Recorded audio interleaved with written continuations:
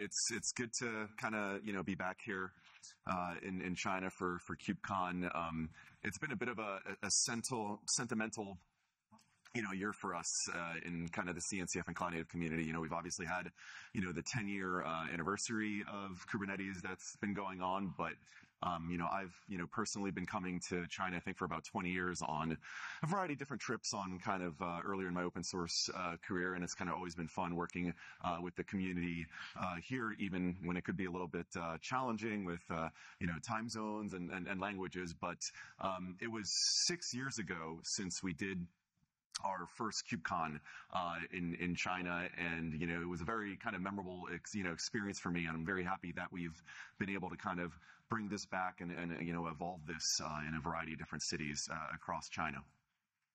As I mentioned, um, it's been a, a, year, a very sentimental year for kind of the CNCF community.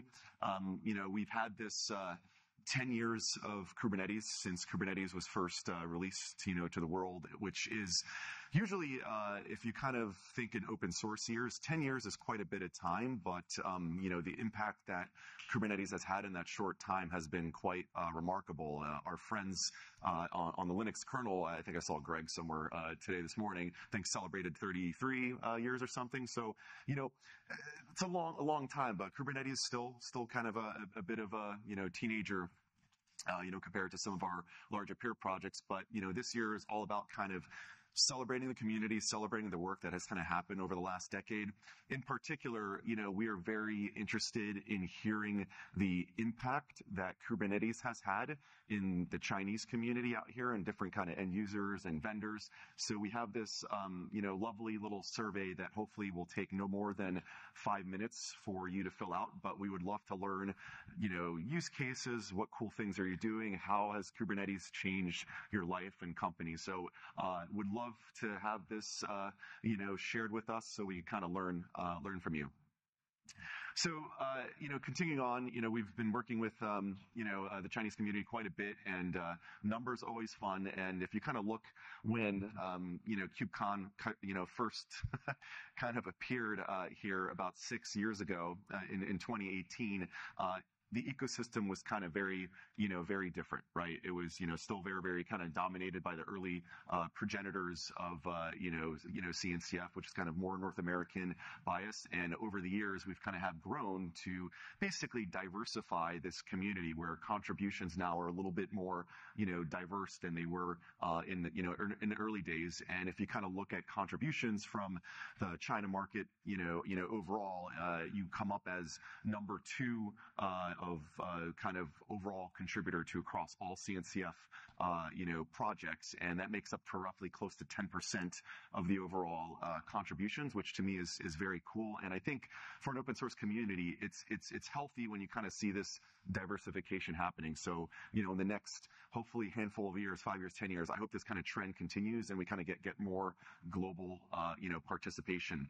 The other kind of interesting factoid is, um, you know, we're almost at 200 projects in CNCF, and a little over 40 of those are actually um, what I would call, you know, ch- you know, China native, China born uh, projects, which have kind of come into the ecosystem, which has been kind of cool to see us, uh, you know, pick up uh, projects from a variety of different parts uh, of the world. So, you know, some of these examples, um, you know, some of the bigger ones in our community, we've had, you know, KubeEdge, you know, TiKV, Dragonfly Harbor, obviously are uh, a little bit further along the maturity curve, but we have a lot of projects in the sandbox uh, also that come from China, which is which is quite cool. And you know, what's been kind of interesting uh, you know, uh, from my kind of, you know, observation, um, you know, we've had a lot of people over the years that we've worked with to kind of uh, build relationship here. And we had folks like, you know, uh, and, and, Annie Lai, I, I, saw Bill earlier, but, you know, what's really been cool is coming to KubeCon here and seeing like, holy crap, you know, people put Kubernetes on like, you know, satellites or, you know, uh, using it for genome things. So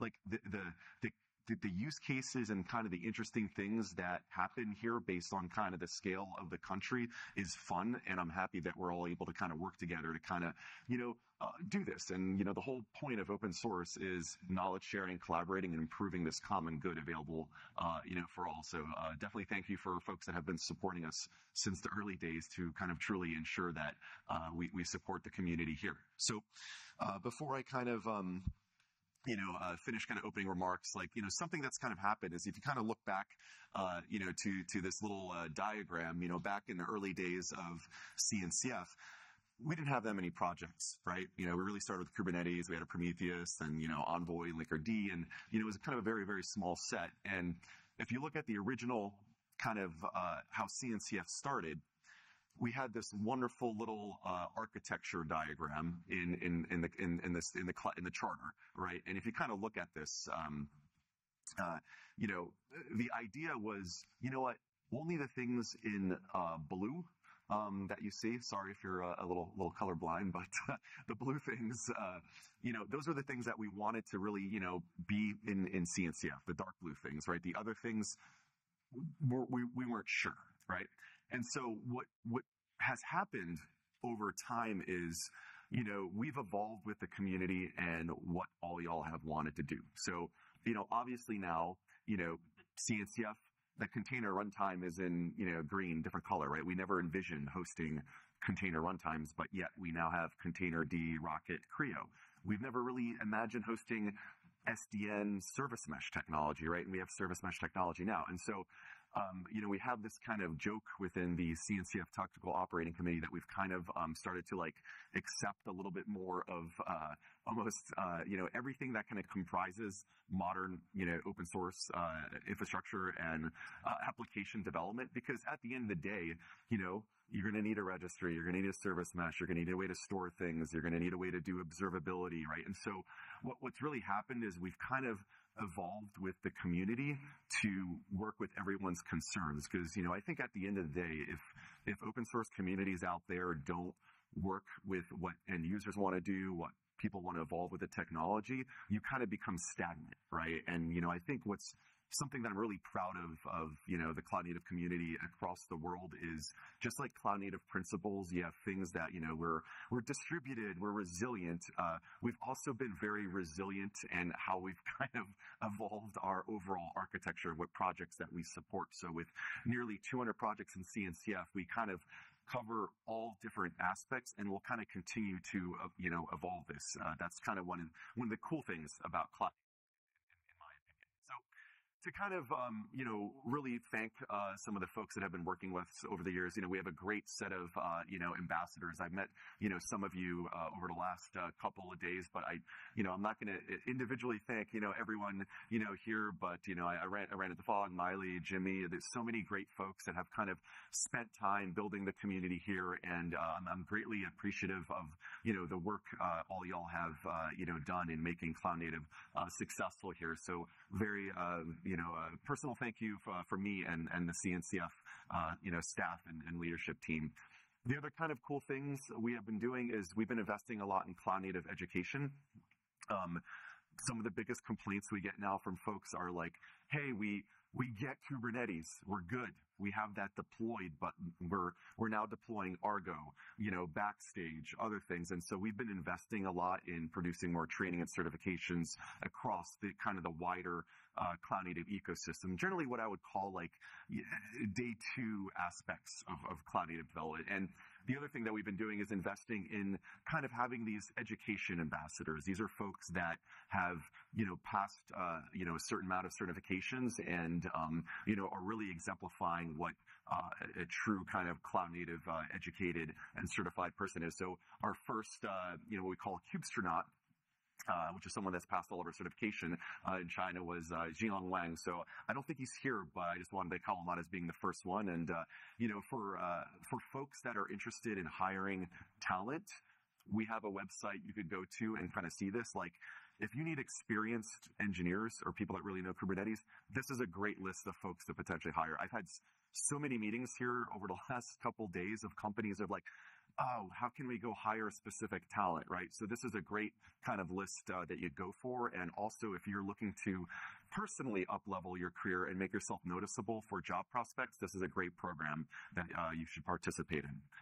Um, let's go see if this works. Um, the other thing is, um, you know, I've uh, spent, uh, you know, it's been to China, you know, quite a few times in the last uh, year, and we've had a fantastic community here. Uh, we've obviously had the 10-year Kubernetes party, and we've had a variety of those there. We have a variety of KCDs uh, throughout there, and so, you know, we're, we're only really going to have one KubeCon in China that we do a year, but we have a huge community of uh, meetup groups on community.cncf.io and KCDs that happen. So I really encourage uh, all y'all to go to community.cncf.io and find ways to engage in the in, in, in the community. Finally, um, you know, something that's like personally, uh, you know, very much important, uh, you know, to me and at the Linux Foundation, you know, we truly consider open source collaboration uh, a global endeavor. Like our communities are all over the world. You know, Jim had his uh, keynote yesterday where he kind of talked a little bit about the breadth of what the Linux Foundation does. We're do a ton of things, but the key kind of thing in our heart is like open source is global and we need to be in different places meeting with our community and supporting them. So for KubeCon, like we're here in, you know, Hong Kong today for KubeCon, you know, China, but in November we're going to do KubeCon in North America. And then our community in India has, uh, uh, I don't want to say complained is not the right word, has uh, has pestered us to finally do something in India. So we're doing the first KubeCon in India later this year, December. So, um, you know, it, you were truly doing our best to work with all our different kind of global stakeholders to really support and have them uh, there. And hopefully you're able to join some of these uh, uh, events that we have uh, in the future. So